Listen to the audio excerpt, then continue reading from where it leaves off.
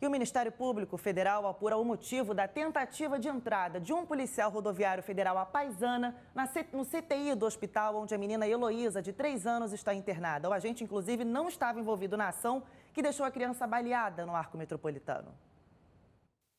Além da abordagem dos agentes, o Ministério Público Federal ainda apura a tentativa de entrada de um outro policial rodoviário federal que não estava presente na ação no hospital onde Heloísa está internada. O agente, que já foi identificado, não tinha autorização para ir até o local. O nome dele já foi enviado ao MPF, que abriu um inquérito para apurar o que ele foi fazer e com quem ele falou. A tragédia aconteceu na última quinta-feira, quando o carro onde a família estava foi alvejado por policiais rodoviários. O pai da menina contou que passava pelo arco metropolitano metropolitano quando passou a ser seguido por uma viatura. Só que eles foram chegando muito perto e aí acendeu o giroflex.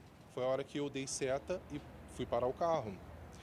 Na hora que eu tava, o carro estava quase parado, foi a hora que eu ouvi os disparos.